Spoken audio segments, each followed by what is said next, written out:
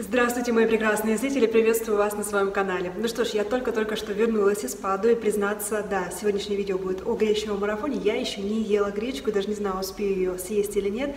И сегодняшнее видео будет посвящено очень интересной теме. Мне был задан вопрос, Яна, ну как побороть приступы голода? Я сегодня вам объясню, что на мой взгляд, потому что я интересовалась этим вопросом, означают вот эти приступы голода, когда ты только думаешь о еде, когда тебе хочется есть, и, а, и когда действительно твой организм постоянно требует еды. И мне был задан конкретный вопрос, как же устоять против вот той шоколадки, которая лежит за дверцей шкафчика на кухне. Сегодня я расскажу вам о своем опыте, сегодня я расскажу вам, а, как я вижу эту ситуацию. Итак, поздравляю всех со вторым днем гречневого марафона. Вчера я пила свой э, чай и могу сказать, что, наверное, скоро меня обвинят в том, что у меня нет денег купить себе зеленый чай, либо любой другой чай. Но я действительно э, стала делать себе вот такой напиток из куркумы плюс перец, э, плюс самая обычная горячая вода.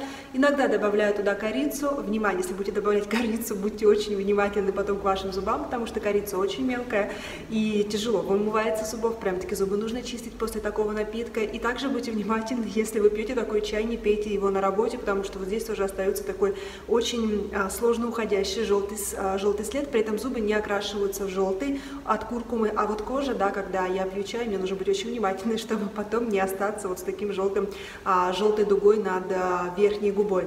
И я совершенно точно могу сказать, что такой напиток для меня, по крайней мере, является мочегонным. Я никогда не замечала такого эффекта, когда добавляла куркуму и перец э, черный в самый обычный зеленый чай. Теперь зеленого чая у меня нет, я просто пью, что называется, кипяточек, подкрашенный куркумой, а, перцем, а также корицей. И плюс я добавила туда, я думаю, что многие понимают, зачем и почему. Прежде всего, свой утренний чай я добавила совсем-совсем чуть-чуть, вот буквально на кончике ножа я добавила чуть-чуть оливкового масла, точнее не оливкового, а кокосового масла, потому что я все равно добавляю это масло в гречку, поэтому добавила его в напиток утренний, прежде всего для того, чтобы желчь отошла, которая скапливается за ночь. Это совершенно естественно, чтобы с утра эта желчь а, отходила, чтобы желчный пузырь освобождался от эм, а, от желчи, и чтобы это не приводило к накоплению камней, к формированию камней, необходимо, да, если мы с утра не едим, а съедать что-то жирное, употреблять что-то жирное. Минимума жира будет достаточно, растительного жира, как в моем случае, я добавляю в чай, для того, чтобы все процессы были запущены. Но если вы завтракаете гречку, а греч, гречкой, то, в общем-то, для вас это совершенно не важно. Простите, дорогие зрители, я несколько не могу собраться с мыслями, потому что, повторюсь, только приехала, даже не переодеваюсь, сейчас поеду уже за а, заданчиком детский сад. Поэтому мой рацион вчера состоял из вот такого напитка, который является совершенно точно, обладает точнее мочегонными средств, э, свойствами, и одной порции гречки. Почему только одной? Потому что, во-первых, я не хочу есть, я выхожу на гречневый свой марафон в который раз, а достаточно подготовленная, я привыкла есть очень мало, я привыкла есть один, максимум два раза в сутки. Если я ем два раза в сутки, то порции вообще какие-то минимальные, это, допустим, яблоко, а, и на что-то на второй прием пищи, это какой-то какая-то, опять же, крупа, может быть, либо салат. То есть я ем действительно очень мало, поэтому я и не хочу, и не хочу есть. А сегодня я еще не ела, то есть у меня получается интервальное голодание, но я себя совершенно нормально ощущаю. И если я не успею сейчас поесть гречку, расскажу об этом вам завтра, то, скорее всего, то, скорее всего сегодня гречку я есть и, и не буду. Ограничусь только своим напитком. Итак, что делать, когда вот мы хотим есть? И очень многим, я думаю, сложно поверить в то, что я есть действительно не хочу. Я бы сама раньше не поверила, а, но могу сказать совершенно точно, точно, что, наверное, первые пять дней, а для многих и первая неделя, а возможно, вот э, для них гречневый марафон и продлится всего неделю, потому что у нас у всех разные, разная выносливость, у нас разные ритмы в жизни, и действительно многим, возможно, будет сложно на этом гречневом марафоне.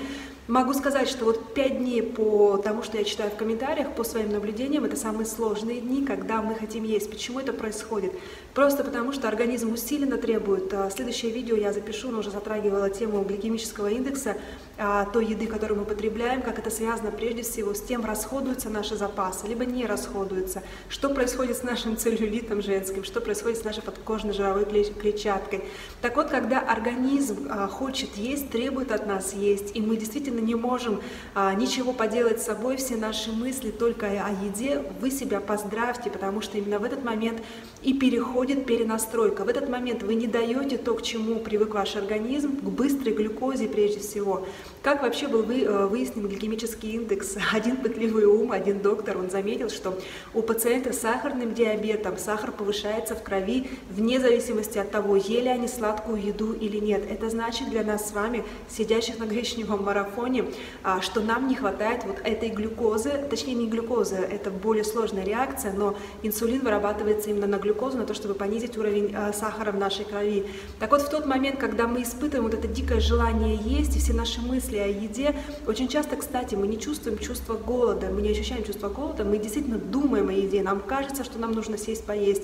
Не приходит именно ощущение насыщения. И обратите внимание, что это два разных состояния.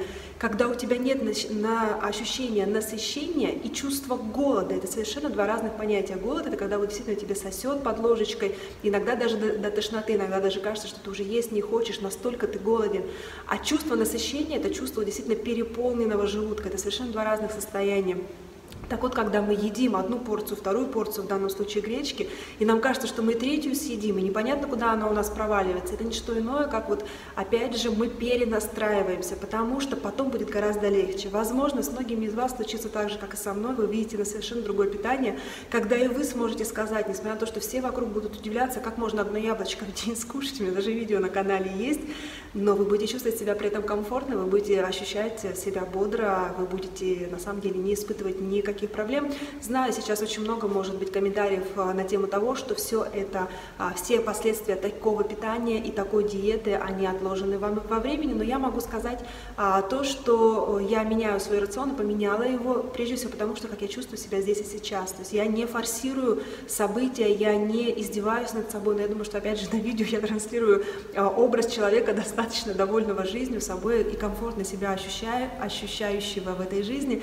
Это видео, возможно, то, тоже будет записано с одного кадра, без единой склейки на монтаже, соответственно, я прекрасно владею своими мыслями, то есть концентрация у меня не падает упала концентрация, забыла, к чему я все это говорила. Да, я говорила, наверное, о том, что можно прийти вот к такому питанию, когда ты не чувствуешь вот в этой необходимости питаться и питаться. Да, я э, хочу продолжить мысль о том, что а, все а, негативные последствия вот такой диеты, таких ограничений могут настигнуть меня и вас, если вы решили также питаться, либо решите также питаться. Основной аргумент тех, кто против, могут настигнуть вот, а, последствия такого питания в, не, в неотдаленном будущем. Но я могу сказать, как человек здраво мыслящий, как человек, который изучает и интересуется подобными вопросами, питания прежде всего, я могу сказать, что очень многих из нас настигнут последствия нашего питания традиционного. Чуть-чуть колбаски, чуть-чуть пиццы, чуть-чуть сырочка, чуть-чуть молока, чуть-чуть много того из того, что я, в общем-то, уже не хочу, я насытилась, но продолжаю есть за компанию, продолжаю есть, потому что мне кажется, что я должна есть три раза в день, еще желательно один полдник и так далее, и так далее. Вот последствия такого питания, они тоже настигнут большинство из тех людей, которые придерживаются такого питания. Поэтому, в общем-то, если уж и иметь проблемы от питания, я, если честно, могу сказать, что здесь и сейчас делаю выбор в сторону того, как питаюсь я, потому что у меня нет тяжести, у меня прекрасная кожа, у меня прекрасный сон, у меня нет запаха пота, и так далее. И очень много тех э, вещей, о которых я сказала в самом первом видео, где рассказала, чего можно ожидать с гречневого марафона. Поэтому да, я предпочитаю вот сейчас такое качество жизни, которое я имею, возможно, с гипотетическими проблемами в будущем, но опять же, всеми вопросами нужно интересоваться, как должна отходить желчь, как вообще происходит пищеварение. А, если мы все будем этим интересоваться, для себя прежде всего искать информацию, то я думаю, что в итоге, в итоге а, в масштабе, в масштабе всей жизни мы будем все-таки людьми более здоровыми, чем, людьми, чем люди, которые остаются, предпочитают традиционное питание, которое рекомендовано, опять же, очень много вопросов, почему рекомендуется такое питание. Что делать с желанием а, съесть шоколадку? Съесть шоколадку. Могу сказать, что я человек, который ел ночью шоколадки, который ел ночью шоколадки, прятал фантики, который ел ночью не одну шоколадку. Почему я это делала ночью? Потому что мне не нравилось, э, что меня кто-то может увидеть, что мне кто-то может сказать, ага, ты что на диете сидела до этого. Я сейчас говорю не о своем гречневом марафоне, не предыдущем, не о том, что происходит сейчас, я говорю о событиях, которые могли иметь место, допустим, 10 лет тому назад. Я на самом деле предпочитала есть, что называется, одна и в темноте, потому что я была человеком, которому как я уже сказала, было очень сложно удерживать вот эти 57-58 э, килограмм. Если сейчас в своих 53-54 я нахожусь с максимальным комфортом, и, в общем-то, я часто рассказываю, что мы э, с семьей и пиццу едим, и я позволяю себе пиццу раз в неделю, и какие-то вот такие сложные продукты, и мороженое я недавно ела. Это никак не отражается на моем весе, в то время как раньше, вот действительно, какой-нибудь лишний кусок сыра плюс э, кусок хлеба э, на пикнике, который мы могли съедать, выезжая куда куда-то, они сразу же отражались на моем весе. Поэтому я все время как будто бы сидела на диете, все время себя ограничивала, все время понимала, что это нужно делать, прежде всего потому, что мне комфортно в моей одежде, мне совершенно не хотелось менять гардероб, поэтому я предпочитала есть, что называется, одна и в темноте.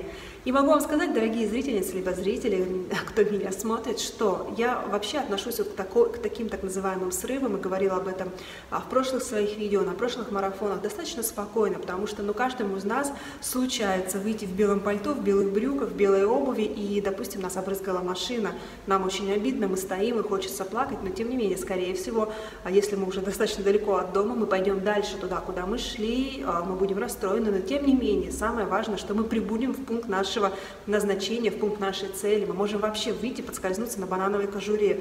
Очень больно, очень обидно упасть, но мы не будем лежать часами в, на месте, на тротуаре, в лужу, допустим, мы упали, и расстраиваться, и, и думать, что навсегда в этой луже мы останемся лежать просто потому, что вот так не повезло, мы на этой банановой кожуре подскользнулись. Вот так же и с, со срывами. Да, съели шоколадку, это случилось с вами на первый день марафона, второй день марафона. Вообще это периодически случается. Нужно просто, просто простить себя себя за это простить и понять. И, в общем-то, понимать, что всегда можно дойти. Единственное, что вот эта съеденная шоколадка, возможно, сделает ваш путь более долгим, либо вам придется приложить больше усилий для достижения вашей цели, какую вы поставили. Ничего больше это не означает. Поэтому, если с вами происходят подобные срывы, а, возможно, иногда и стоит поддаться желанию съесть шоколадку, я, возможно, бы даже рекомендовала это сделать по какому-нибудь истечению седьмого дня марафона, и посмотреть, как вы будете чувствовать вкус, как вы будете чувствовать сладость, радость, но при условии, что вы действительно честно пробовали на марафоне на одной гречке, на одном чае, на каких-то травяных чаях, вот действительно 7 дней. Посмотреть, как вы сами ощущаете этот вкус. Быть честными самими собой. Вам слишком сладко, вы насытились уже двумя кусочками, а раньше вам нужно было 6, либо наоборот, вам хватило 6, а раньше нужна была целая плитка шоколада. То есть прислушаться к себе, посмотреть, что происходит, и, в общем-то, а, меня, по крайней мере, именно так и отпустило желание поглощать много-много чего-то, что я сама же себе запрещала. Поэтому, дорогие зрители, приветствую всех на втором дне марафона. Для меня он а, практически заканчивается, потому что сейчас 4 часа вечера. Вряд ли, вряд ли я сегодня сварю себе гречку. Вот такое интервальное голодание со мной сегодня случилось. А, единственное, что хочу сказать, а, также забыла упомянуть, что я себе зерна проращиваю, и я вчера себе зерна замочила. Поэтому сегодня, скорее всего, вечером, если я не успею сварить гречку, не захочу ее есть, потому что такое тоже может произойти, я не буду ужинать, я обязательно съем столовую ложку ложку пророчного зерна. И если у вас есть возможность и желание проращивать себе зерно, это то, что я бы однозначно добавила к гречневой диете. Во-первых, это микроэлементы, которые никогда не помешают, это витамины, которые никогда не помешают. Ну и вообще это очень-очень здоровая еда, если верить людям, которые разбираются в этом вопросе уж точно лучше, чем я. Желаю всем хорошего настроения на гречневом марафоне и не только. Увидимся очень скоро. Это была Яна Скворцова. Всем пока-пока.